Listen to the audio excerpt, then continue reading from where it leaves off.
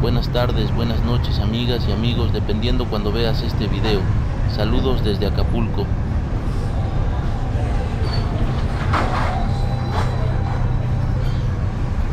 Se dice que el barrio de Petaquillas tiene el nombre porque en ese lugar había una laguna a la que le llamaban Laguna de Petacuilas. El nombre se lo impusieron porque en las orillas había una planta llamada petaca o petacuila la que produce una vaina que al secarse se abre y adentro hay una especie de pedacitos de tela. De ahí el nombre de petaca o petaquilla.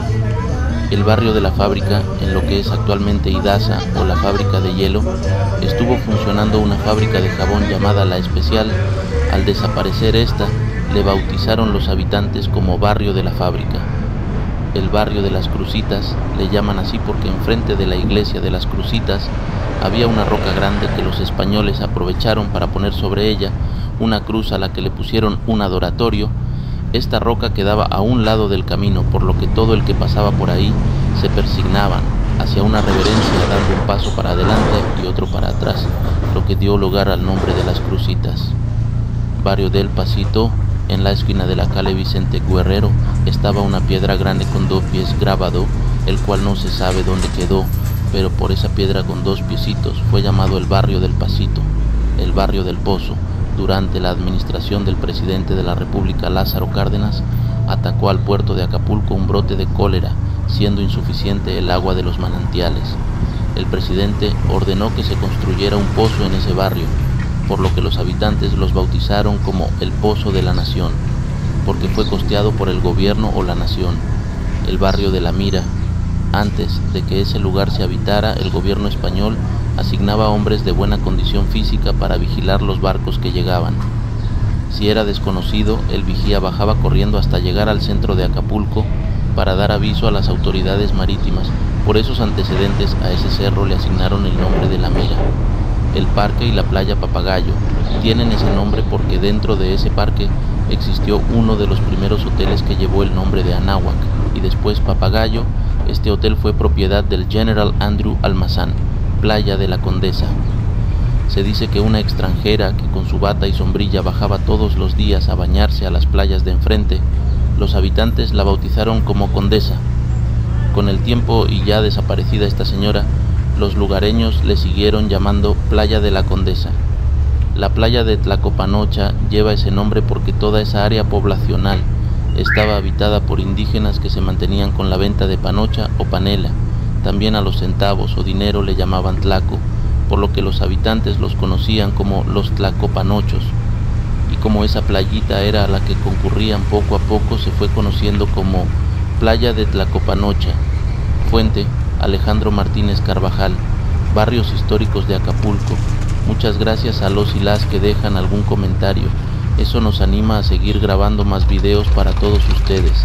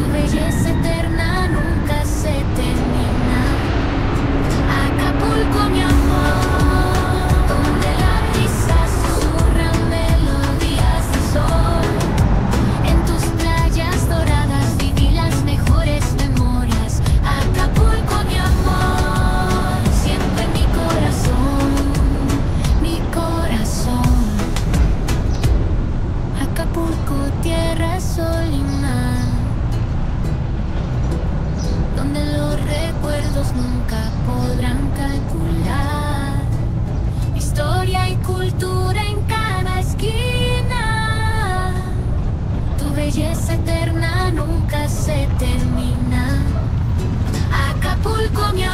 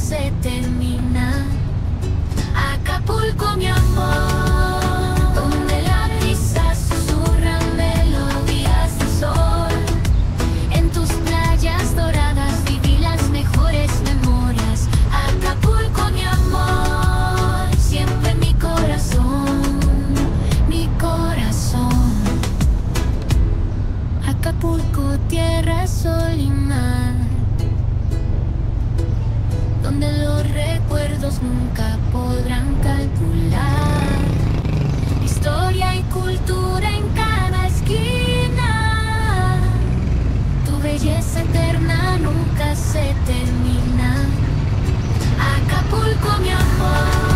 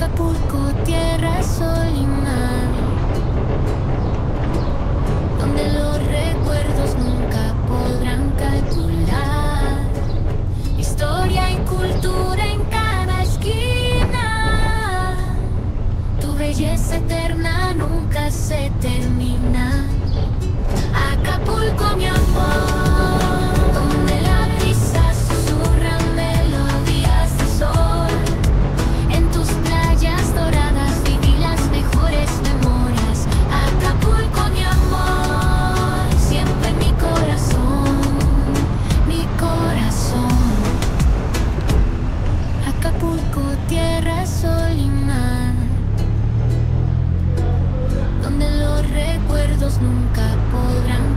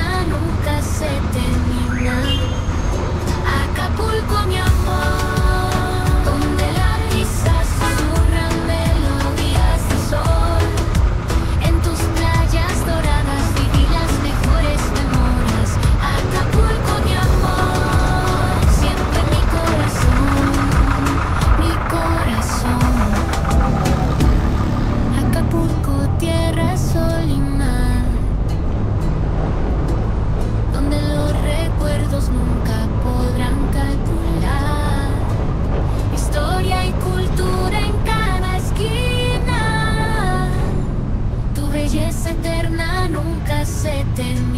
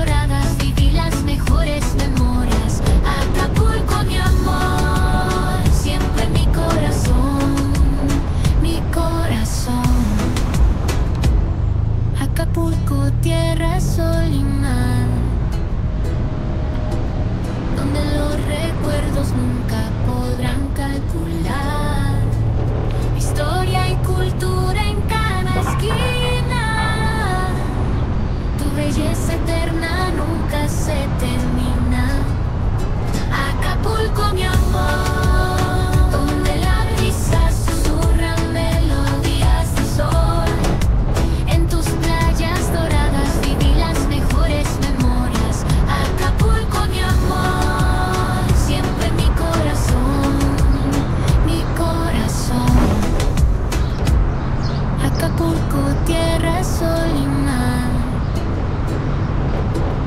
donde los recuerdos nunca podrán calcular. Historia y cultura en cada esquina, tu belleza eterna nunca se termina. Acapulco, mi amor.